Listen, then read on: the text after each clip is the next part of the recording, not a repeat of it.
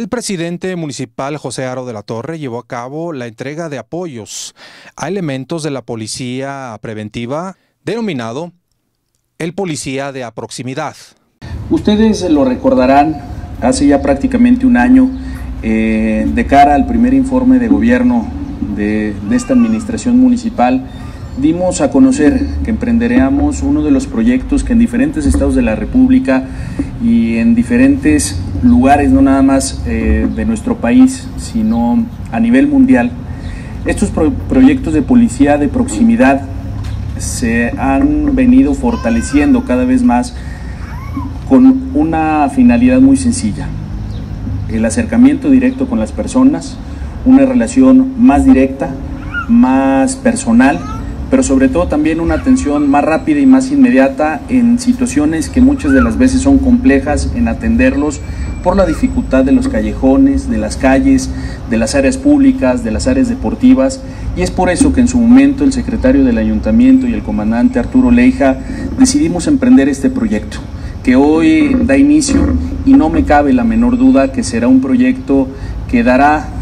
de qué hablar mucho en Fresnillo en los próximos meses, que se podrá fortalecer también en la próxima administración que inicia funciones a partir del 15 de septiembre, pero lo más importante es la cercanía a que estos grandes elementos, estos 30 elementos, como ya lo decía Edgar, estén cerca de la gente, que puedan interactuar, que puedan ayudarles en las necesidades apremiantes que se tengan en el día con día y esta es una gran fortaleza que dejaremos como una herencia al municipio, al municipio de Fresnillo. No quiero extenderme más, simplemente ha sido también este proyecto una parte de la Conferencia Nacional de Seguridad Pública, donde muchas veces los municipios, y hace unos cuantos días el comandante Leija estuvo en la Ciudad de México, donde se hacen las recomendaciones a los municipios para que no nada más podamos fortalecer a nuestros cuerpos policiales a nivel municipal, como ya lo conocemos, con armamento, con todos los uniformes y con todos los, detalles que nos marca la Comisión Nacional de Seguridad Pública, sino que lo podamos hacer también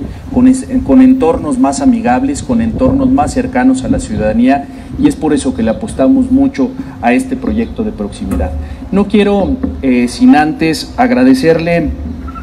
eh, a todo el grupo OXO por todo su ayuda. Créanme, mm, Fabián, de verdad te lo agradezco, te lo valoro. Ha sido no solamente eh, este proyecto, uno de los muchos que hemos trabajado en conjunto, otro más como la Fuerza de Fresnillo somos todos y con esta dotación que hacen ustedes de estas bicicletas nos fortalece para que en conjunto podamos seguir trabajando en pro de nuestro municipio y en pro de los fresnillenses. Mi más amplio reconocimiento, Omar, Fabián, de verdad mi agradecimiento siempre por estar velando por los intereses también de Fresnillo, este trabajo en conjunto que hemos hecho ustedes como empresa socialmente responsable, ya lo decía con la Fuerza de Fresnillo, donde hay otras máscaras, Campanita, Minera Fresnillo y algunas otras, en conjunto con, con la dirección del DIF municipal, pero hoy que ustedes también ponen su granito de arena para atender una de las problemáticas más sentidas, más apremiantes y más urgentes de resolver, que es el tema de la seguridad en el municipio. Para Grupo B15, Víctor Manuel Cornejo.